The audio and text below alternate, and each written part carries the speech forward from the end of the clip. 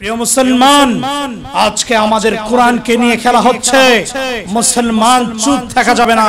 আজকে আমাদের যেই কোরআন আমাদের বুকে থাকে আর সেই কালামুল্লাহকে সেই কোরআনকে হিন্দুদের মূর্তি যেই মূর্তি যেই মন্দিরে শিরিকের কাজ হয় যেই মন্দিরের মধ্যে গুনাহের কাজ হয় যেই মুসলমানদের কোরআন থাকবে বুকে মাথায় সেই কোরআনুল করিম সেই কালামুল্লাহকে ওই হিন্দুদের মূর্তি পায়ের নিচে রাখা হয়েছে। সবাই বলেন না নাউজুবিল্লাহ। প্রিয় মুসলমান চুপ থাকা যাবে না ঘরে বসে থাকা যাবে না। সাংবাদিক বন্ধুদেরকে আজকে দেখা যায় না আজকে দেখা যেত যদি আলেম ওলামাদের দোষ তালাশ করা যায় আলেম ওলামারা কি করেছে তা নিয়ে তারা ব্যস্ত হয়ে যায়। আজ হিন্দু ভাইরা আজকে হিন্দুরা আজকে বিভিন্ন ধর্মের মানুষ এই দেশে শান্তিতে বসবাস করে এই দেশের মুসলমানরা তাদেরকে বন্ধুত্ব আচরণ করে আরে তাদের বন্ধুত্ব নরম আচরণ তারা মনে করেছে এদেশের মুসলমানদের দুর্বলতা। প্রিয় মুসলমান, আমরা কখনো দুর্বল জাতি নয়, আমরা বন্ধুত্ব করতে জানি, আমরা এই দেশের মানুষ যেভাবে, আমরা যেভাবে বন্ধুত্ব করতে জানি, আমরা কিন্তু আবার সেই বন্ধুত্বর বিপরীত চেহারা দেখাইতে পারি।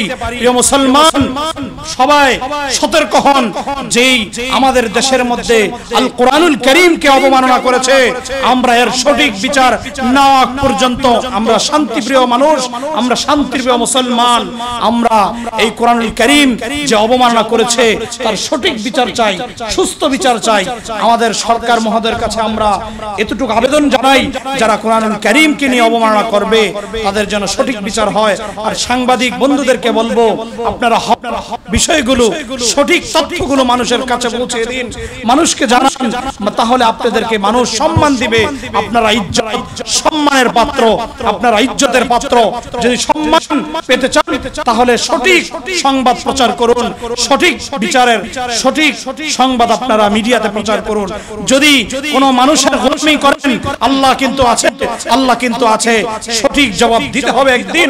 সঠিক বিচার কিন্তু আপনার হবে। কি হবে আপনার অবস্থা?